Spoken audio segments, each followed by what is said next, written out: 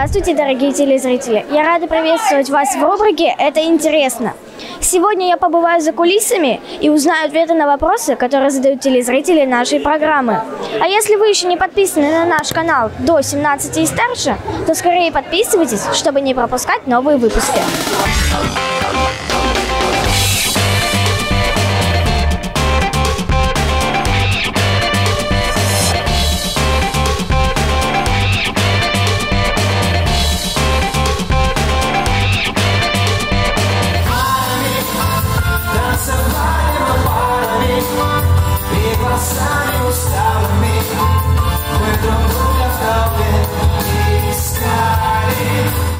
Здравствуйте, Родион. Как вы считаете, что главное в пении? Техника или душа? Души без техники полно в караоке. Техники без души полно в... э, Нет, я хотел сказать в академическом пении, но люди обидятся. А, Техника без души тоже бывает, и это никому абсолютно не нужно, потому что э, от песни человек хочет не безукоризненной техники вокала, а, а все-таки какой-то души. Вот я простой пример. Вспомните, э, на Евровидении выиграл человек из Португалии. Очень необычный такой парень с длинными волосами. Без диапазона вокального, без каких-либо там, а, а, сказать, э, школы какой-то вокальной. Насколько это было трогательно. э, То есть я весь в мурашках сидел. Вот. То есть важно уметь донести то, что ты поешь. Буду тут непреклонен. Конечно же, вокал, отточенный вокал еще никого не портил. Но отсутствие энергетики, к сожалению, заметят все. Я считаю, для артиста важна уникальность. Потому что некоторые люди с небольшим диапазоном обладают уникальными тембрами, какими-то теплыми, какими-то красивыми. Э, И порой не обязательно там какие-то небеса прошибать высокими нотами. Во всем есть своя эстетика, и все зависит от стиля музыки, опять же, который ты поешь, и от твоих природных данных. Просто нужно их в себе правильно, э, качественно использовать. А вот насколько важно на данный момент иметь широкий вокальный диапазон для артиста? Играет это какую-то роль? Это не играет э, никакой роли, это зависит только от того, какой репертуар вы выбираете для себя. То есть э, можно на семи блатных аккордах там петь, и никаких проблем нет, и эта музыка очень часто заходит людям, они с удовольствием ее поют в караоке. Чем, эм, как вам сказать, изысканнее вокал, и чем он неповторимее, тем тяжелее людям сделать песню хитом, потому что они ее спеть просто не могут. Как вы считаете, успех – это везение или работа над собой? Успех – это формула из трех составляющих. Это, конечно же, работа, это талант и это везение. Если один из этих коэффициентов равен нулю, то ничего не получится. Ну, безусловно, успех это, знаете, со- соотношение, баланс абсолютно всех составляющих. А, а, Но, конечно же, самое главное, нет результата без усердной работы. Даже какой бы ты ни был талантливый, надо очень-очень много трудиться. Ну, успех – это сумма качеств, да, как бы работа над собой, и везение, и э, талант, и умение себя, сказать, э, преподать. И, наверное, самое главное – это такая безусловная вера в то, что я крутой. Нет смысла слушать людей, которые вас не верят. Это абсолютная ложь. Это их личные галлюцинации на ваш счет. Если человек занимается музыкой и стоит на сцене, он должен быть грамотным, правильно подготовленным музыкантом. То есть учитесь в музыкальной школе, дорогие дети, дорогие подростки, все те, кто хотят быть звездами настоящими. Очень часто э, продюсеры, например, говорят, вот ты вышел с одной песней, типа как я с полетом, вот и пой именно в такой стилистике всю свою жизнь. Не надо так делать. Развивайтесь, живите на полную катушку. Сегодня можно все. Самое главное, чтобы песня была честная, чтобы вы выступали с кайфом, чтобы энергия из вас шла самая наимощнейшая и дарила прекрасное вашим зрителям. Смотрите, пожалуйста, программу до 17 и старше. Друзья, подписывайтесь на наш YouTube-канал до 17 и старше. Оставляйте свои комментарии обязательно, они нам очень важны. А также ставьте лайки и пишите, кого вы хотите видеть следующим гостем в нашей студии.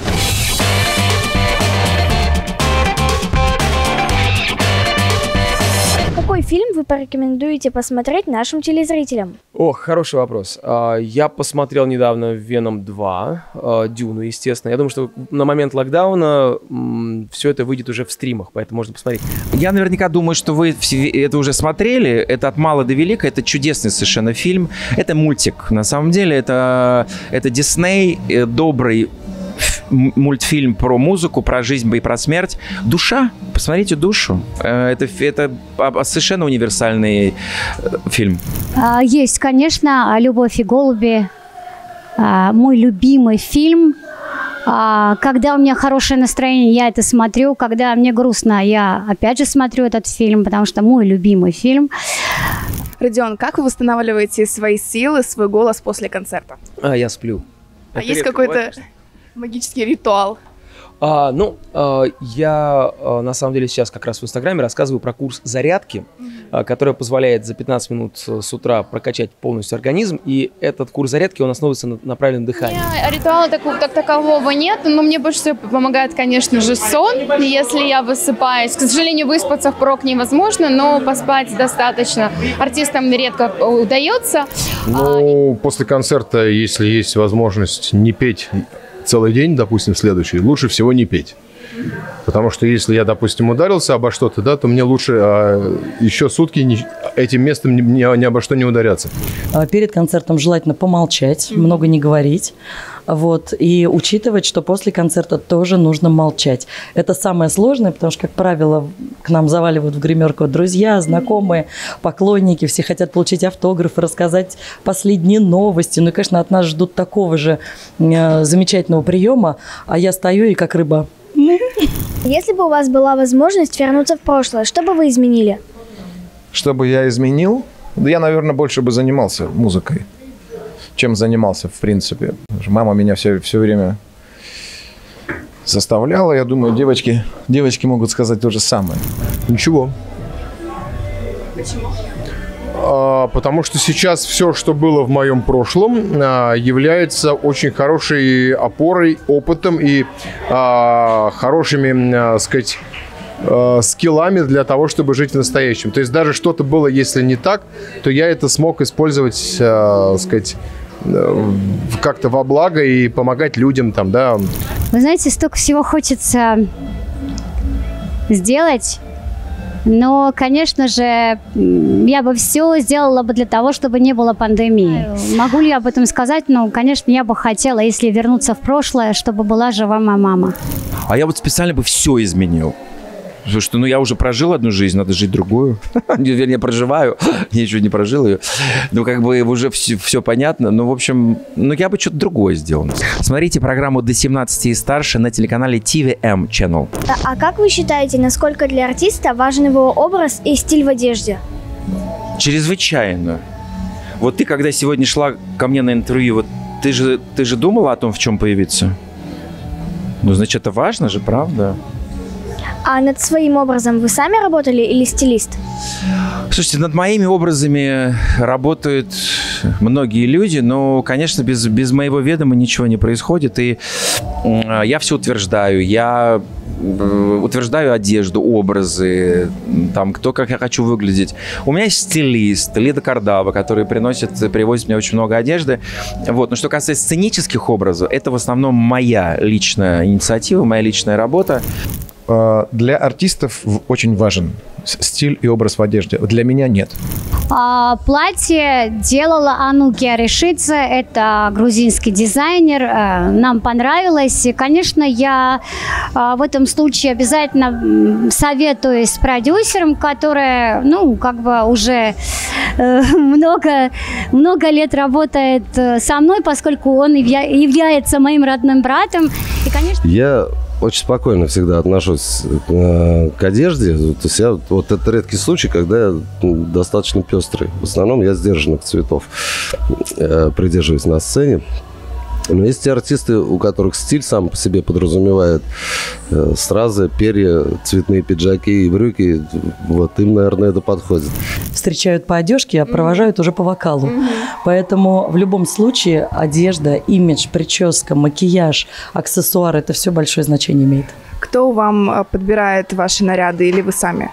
Но вы знаете, как правило, я подбираю сама, но есть стилисты, которые работают, потому что концертов огромное множество, и платьев нужно огромное множество, и плюс я делаю шоу, а у нас шоу как минимум из пяти, а, а то и больше образов состоит. Поэтому, конечно, и шьем, и вяжем, и рисуем. Но вот в данном случае здесь дизайнером выступила сама Вивьен Вествуд. А какие профессиональные рекомендации вы можете дать новичкам, кто вот только покоряет сцену и кто только начинает развиваться в этой сфере? Ну, я вам хочу сказать, что вы должны просто выступать побольше, петь побольше, разного репертуара, э, и чувствовать просто, что вам ближе всего. Потому что очень скоро, когда вы там отпоете лет пять хотя бы, по конкурсам вы поймете, какой стиль вам ближе всего.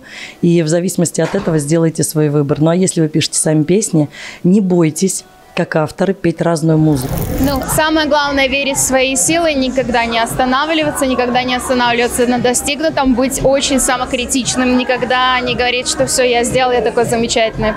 А, ставить цели, делать все возможное, работать много для достижения цели. И, конечно же, получать удовольствие от того, что происходит в жизни.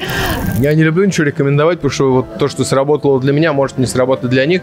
Но я вот сейчас говорил на сцене и могу повторить то же самое, а, что практически вот все, а в меня почти никто не верил. Все говорят, ты тунеядец, ты там, э, там голоса нет, у тебя там бабушка у тебя талантливая, а ты нет, как бы, и так далее, и так далее. Вот. И э, все, кто в меня не верил, сейчас меня хвалят. Я думаю, что самое главное для начинающего музыканта это иметь глобальную мечту, к которой будет То он стремиться. Большую, большую мечту. Она хотела сказать, что мечта должна быть большой, огромной, настолько большой, вот как планета. Обязательно нужно как можно больше заниматься, как можно больше разучивать песен, как можно больше работать э, с педагогами, чтобы они подсказывали какие-то вещи правильные, ну, так как нужно себя вести на сцене. И мне кажется, все тогда получится. А, смотрите программу до 17 и старше на канале TVM Channel. Вот на такой теплой ноте я заканчиваю свой репортаж. Я присоединяюсь ко всем пожеланиям и хочу добавить, что без труда не выловишь и рыбку из пруда. Поэтому старайтесь, совершенствуйтесь и не бойтесь принимать участие в конкурсах. Ну а с вами была я, Елизавета. До скорых встреч в эфире. Друзья, подписывайтесь на наш YouTube-канал до 17 и старше. Оставляйте свои комментарии обязательно, они нам очень важны. А также ставьте лайки и пишите, кого вы хотите видеть следующим гостем в нашей студии.